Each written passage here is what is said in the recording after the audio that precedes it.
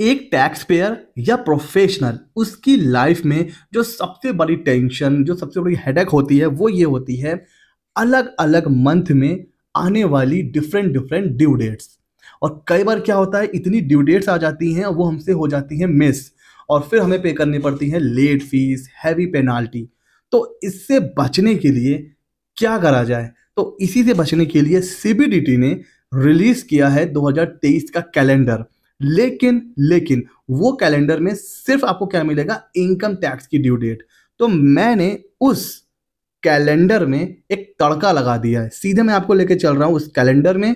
ये है वो कैलेंडर जो सीबीडीटी ने रिलीज़ किया। बट मैंने देखा कि इसमें सिर्फ़ इनकम टैक्स से रिलेटेड ही ड्यू डेट्स हैं।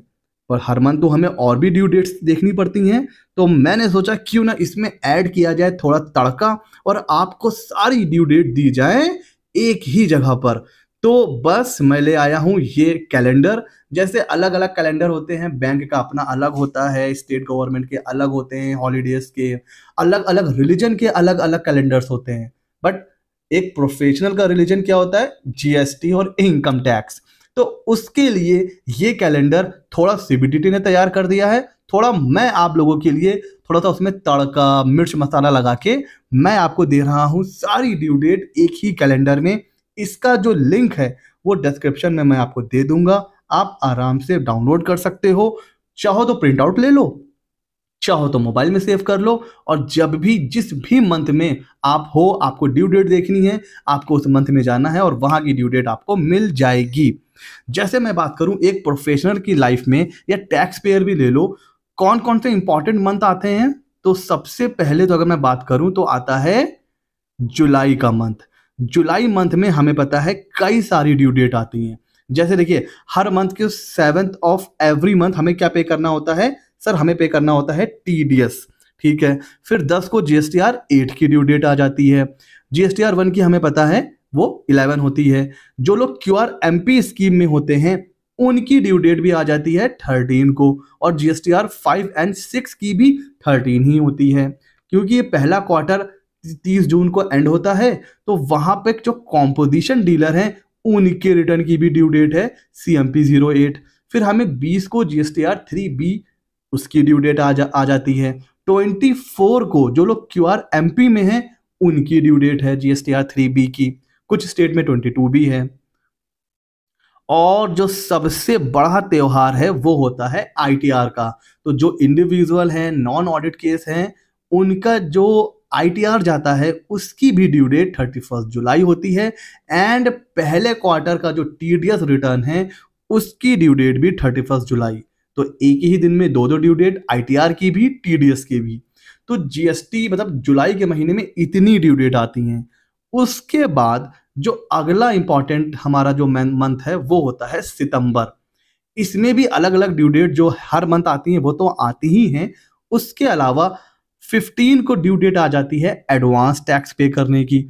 एंड 30 सितंबर को टैक्स ऑडिट की ड्यू डेट होती है। जिनके ऊपर टैक्स ऑडिट एप्लीकेबल है, उनको टैक्स ऑडिट 30 सितंबर तक करवाना होता है।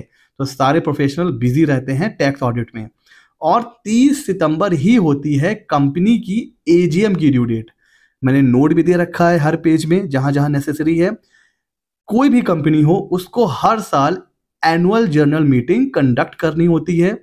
उसमें वो अपने शेयर होल्डर को कंपनी क्या बताती है, पूरे साल भर में उसकी क्या परफॉर्मेंस रही है कौन आया, कौन गया, कितना प्रॉफिट कितना सेल कितनी परचेज ये सारी चीज़ें कैसे पता चलती हैं शेयर होल्डर को? एनुअल जर्नल मीटिंग में। तो सारे इंपॉर्टेंट डिसीज़न एजीएम में लिए जाते हैं। उसकी भी ड्यू डेट क्या होती है? तीस सितंबर। तो ये दूसरा इंपॉर्टेंट मंथ होता है। उसके बाद जो सबसे इंपॉर्टेंट और जिसमें भर भर की ड्यू डेट आ जाती हैं, वो होता है अक्टूबर और इसमें आपका त्यौहार भी खूब आते हैं। कई बार दशहरा पड़ गया, दिवाली पड़ गई और ड्यू डेट भी इसमें भर भर के आती हैं। जो रेगुलर नेचर की हैं, जैसे टीडीएस का पेमेंट जीएसटी वो तो है ही। उसके अलावा देखिए, क्योंकि ये भी दूसरा क्वार्टर एंड होता है तो यहाँ पर भी क्यू आर एम की ड्यू डेट आ जाती है कॉम्पोजिशन डीलर वालों की ड्यू डेट आ जाती है और इसके अलावा जो ऑडिट केस होते हैं जिनके, उनकी भी जो आईटीआर होते हैं, उनकी ड्यू डेट होती है थर्टी फ़र्स्ट अक्टूबर और थर्टी फ़र्स्ट अक्टूबर को ही आपको टीडीएस का रिटर्न भी फ़ाइल करना है और एक दिन पहले, ये तो एक थर्टी फ़र्स्ट अक्टूबर की बात हो गई, तीस अक्टूबर को आपको एओसी फोर फ़ाइल करना पड़ता है। ये क्या होता है सर? मैंने नीचे दे रखा है AOC four is for annual return of company her company every year एक एनुअल रिटर्न फ़ाइल करती है एओसी फोर में। उसकी ड्यू डेट तीस अक्टूबर होती है।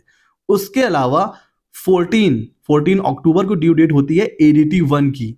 हर कंपनी में ऑडिटर अपॉइंट करना मैंडेटरी होता है। तो जब ऑडिटर अपॉइंट होता है तो उसके लिए एडीटी वन फ़ाइल किया जाता है।